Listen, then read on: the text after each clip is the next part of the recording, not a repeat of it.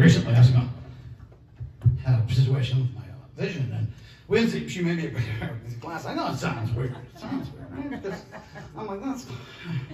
She really was selling me on it. It's like, this is really going to help you, Dad. It's going to help you. You want to be able to see better. I'm like, well, I can see that they're pipe cleaners. First of all, I was keeping an open mind that night. Oh, I put the pipe cleaners on, and, and for God's sakes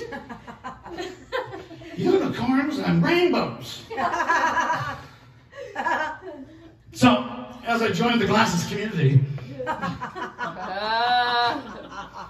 I decided to make mine fit because I've watched others spend their life pushing up their glasses.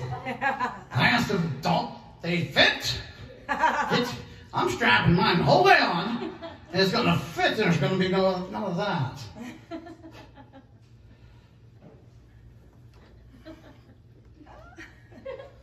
Maybe not academically smart, maybe, maybe not on paper, not, maybe not during tests or other feats of skill. What does that have to do with it? Saul, a Z student on a curve. Solid. Take the curve, baby. Take the curve. A gang forms in the schoolhouse. Listen, that, that kid over there is a code. He's a curve breaker. Now, him a note in his locker that he's got to bring that curve down. Don't you be running that curve. Here's what we're going to need out of you. Bring it down to a B plus.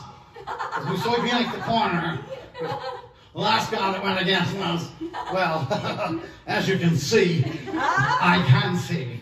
And I swear to God, I was like, those are pipe cleaners. really opened my mind to some things that maybe you could. That was good. Good section. That's why I want glasses for dramatic moments. now listen here, everybody. Oh. I got something to tell you.